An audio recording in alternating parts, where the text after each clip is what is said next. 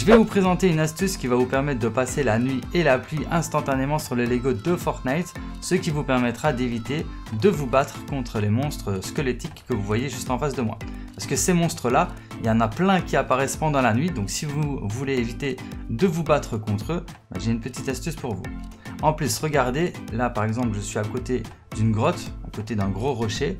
Je vais utiliser l'astuce et quand je l'aurai utilisé, je vais me retrouver au même emplacement que je suis actuellement et je n'aurai rien perdu. Donc euh, c'est super avantageux si vraiment vous voulez passer la nuit. Donc pour ce faire, vous avez juste à appuyer sur option, allez donc quitter la partie, vous faites un retour au salon et quand vous allez revenir dans la map, à chaque fois que vous allez lancer un monde sur le Lego de Fortnite, vous allez apparaître en pleine journée. Donc là, si vous quittez et que vous relancez la map, eh ben, vous serez obligatoirement dans la journée. Et comme le jeu sauvegarde automatiquement, bah, vous pouvez remarquer que je me trouve au même emplacement euh, au moment où j'ai quitté. Donc je suis vraiment à côté de la grotte, gros rocher là, et euh, je me retrouve vraiment au même emplacement.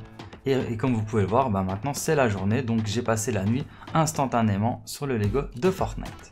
Code créateur SCM.